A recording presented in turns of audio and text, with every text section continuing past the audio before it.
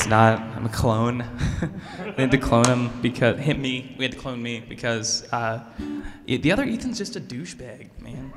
Uh, go to the other open stage videos. You'll see. Okay. Uh, I thought I'd bring up a song that's like kind of a thinker for you guys. So um, here we go.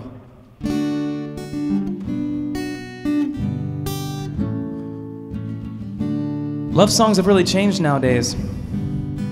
You know, we have our 1Ds, our J Biebs, our ushers, and they really changed the format of the song, you know, just, they're not the same. But I wanted to show you guys in this song exactly what they've done. Love your hair, I love your name, I love the way you say it. I love your heart and you're so smart because you gave away it. I love your sis, I love your dad, I love your mom. But more than all of that, I love the fact that you were dumb enough to not realize everything I said has been said before in a thousand ways, in a thousand songs. Some with the same four chords, but you'll still love it and let me finger you. Yeah, finger you, finger you. Oh, girl, I hope you don't think that I'm rude when I tell you that I love you, boo. I also hope you don't see through this cleverly constructed ruse designed by a marketing team, cashing in on low puberty and low self esteem, and girls' desperate need to feel loved, yeah.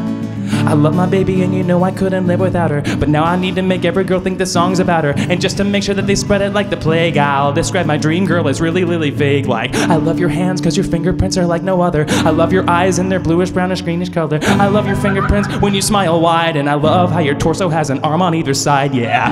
If you're my agent you might thinking, oh no, sound the alarm. You're not appealing to little girls who don't have arms, but they can't use iTunes. So yeah, so fuck them who needs. Girl, I hope you don't think that I'm rude when I tell you that I love you, boo. And I hope you don't see through this cleverly constructed ruse designed by a marketing team, cashing in on puberty and also low self esteem. And girls desperate need to feel loved. Yeah.